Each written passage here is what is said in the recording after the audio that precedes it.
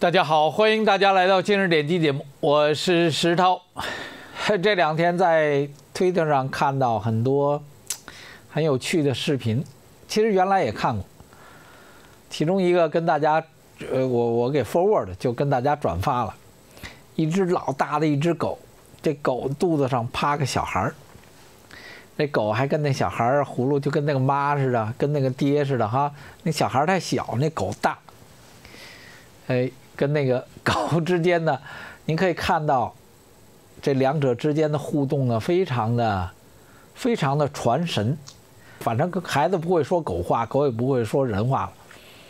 但是你能感受到，所有看的人都能感受到生命之间的那种传递。另外一个就是，呃，一个视频，一个一个一个那个人看起来像是南亚人，但是在这种山地当中。狼，那个狼可老大的那狼了，四五只狼，这狼跟这个人关系非常好。那狼窜到他身上啊，呃，如何如何的，因为能看出来那地方是野生的地方。而与此同时，在这个看到一些苏联传出来的俄罗斯，对不起，不是苏联，俄罗斯传出来一些视频呢。什么摩托车上坐一只大熊，要不然那警察那个车里面也坐了一只大熊，狗熊跟人在水里玩儿。那这些都是动物讲动物的凶猛的动物，可这些凶猛的动物跟人之间有着生命内在的传递，而并不是像我们在学校读书读到的那些东西，不是的。所以，生命本来的生命，自然的生命之间有着一种情感，相互之间生命内在的联系。所以，俄罗斯人敢抱着大熊来回跑，你让我让你，大家也抱着大熊来回跑，不是我跑，是他跑啊，对吧？夜里走道碰只狼，你能想象说那狼跟你拥抱吗？还亲亲嘴儿，那那电视里是那么放，所以这是我想跟大家讲，越现代就是人的生活越现代，脱离生命的属性越远，那人就越自我、越孤僻、越自以为是，其实呢，呃，就越加的利益和自私。当然，这是我个人的认识了，但这种视频。中外在在今天社交媒体环境中，到处都是，啊，到处都是。如果你说你看不着，那你就上我的 Facebook 或者 Twitter 上，我每天跟大家转发几个，然后写写我个人的狭隘的想法。呃，网上有篇报道文章，题目这么说的：来自于这个看中国的网站，说李作成已经升任总参谋部的部长。这个房峰辉呢去向不明。文章的原报道来自于新加坡的叫《海峡时报》，说引用了两名熟悉中国军事的消息人士讲，呃，习近平已经将李作成，他是五三年出生的，任命为这个联合参谋部的参谋长。那房峰辉呢已经被下来了。那如果是这样的话，那消息是蛮大的，因为。房峰辉呢？四月六号、七号是随着习近平，呃，去了这个美国见了这个川普。那联合参谋部的参谋长呢？他的军衔的身份就是实际军队的掌控力的这种力度呢，是是一个相当实权式的人物。所以这是对等的官员啊，对等的官员。也就是说，美国参谋长联席会议主席。作为中美国军方最高指挥官来到中国的时候，中国的范长龙跟许其亮并没有露面，而是真正露面的是习近平露面和房峰辉露露面，所以对等下来，这是中国军方、中共军队当中最高的军事指挥官，啊，最高上面他直接向军委主席汇报，那军委副主席呢就有点摆设的感觉。那，而这李作成比较特别，李作成参加过中越自卫反击战，一九七九年，所以他是中共军队当中少有的真正参加过作战的啊上将。呃，外面讲李作成遭到江泽民的打压。九八九八年的时候，当时李作成只有四四十五岁，是四十一集团军的军长。零二年，李作成当时把军部里面江泽民的画、记述了江泽民的画的牌子给摘走了，结果被人告了状了，所以李作成就穿了小鞋了。那一直到一直到这个习近平上台之后，二零一三年。李作成成为了成都军区的司令员，二零一五年晋升上将，那同年改任首任的陆军司令。那这个变动并不代表防风辉呢可能会下去，但是这个变动给我的体会就是，还是跟大家解释的，习近平、王岐山立战书要做什么，外围根本没人知道。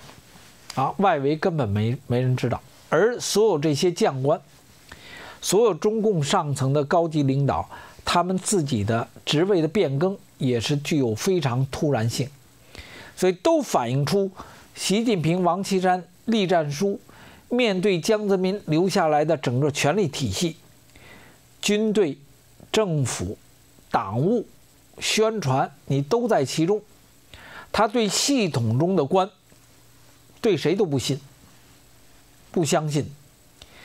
他除非我没跟你说，除非这个所在的系统就像这个军队一样出现过改变之后，他才可能去任意操作，否则的话没有。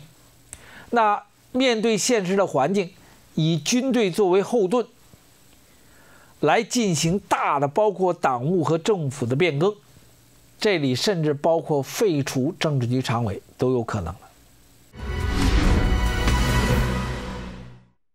美国之音，金正恩显示无意通过外交途径化解危机。首尔峨山政策研究院的政治分析家，这个人叫崔康，他认为金正恩真心相信强硬路线的政策，因为完成导弹与核项目的试验。实际上是让他的权力，让他对政权的控制合法化的一个最重要的因素。那我也觉得是这么回事。他就用这手活把所有所有人都玩里了，啊，所有人都玩里了。为什么？韩国人输不起啊，对不对？横的就怕不要命的，有钱的怕那没不穿鞋的光脚的。那韩国人太有钱了，那朝鲜人没钱，活着跟死的无所谓。就这么回事儿。有人说你应该朝鲜人应该如何如何，他们没问题，你说的都对。但我现在怎么办？我跑到中国大陆都是被人可能给送回来。那有分析人士认为，金正恩会遵循他父亲和祖父开辟的路线，加强他强大领导人的形象。呃，并进政策，既提升核威胁力对抗美国，一方面又改善经济。这不好说了，那起码他要有饭吃。呃，据说在首尔附近，他呃也在进行经济改改革，那自个儿养活自个儿，他也在做这种事情。首尔国立大学的一个研究员，这这个人叫苏博学说：“我认为金正恩政权是稳固的，推行着经济发展与核威慑并行政策，追求核武器和弹道导弹研发。”啊，他在朝鲜人当中获得了广泛的支持，可能是因为封闭的概念，对他封杀的概念又便利有便于他本身进行统治，他的国土面积小，对吧？人口相对少，那你作为对等来讲，你看今天的习近平在面对中共党内之间的压力，当他采取方这种方式的时候，当他采取。某种方式去保自己命的时候，你看这超乎的，好，根本不让他。那作为金正恩来讲，他就根不让你出这手。而针对朝鲜状况，美国对中国和俄罗斯的企业呢 进行这个处罚。德国媒体讲说，这记耳光让北京措手不及。德国《世界报》写的，北京一直保持沉默，平心静气地实施对针对朝鲜的制裁，但这现在北京却遇到了出其不意的麻烦。那中共领导层必须做出回应，因为朝鲜因为美国宣布最新的制裁并非针对平壤，而针对的对象是中俄十家企业和六个个人。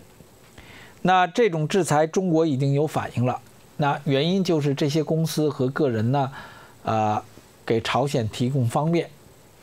任何被制裁地区，都是一些铤而走险的人发大财的机会。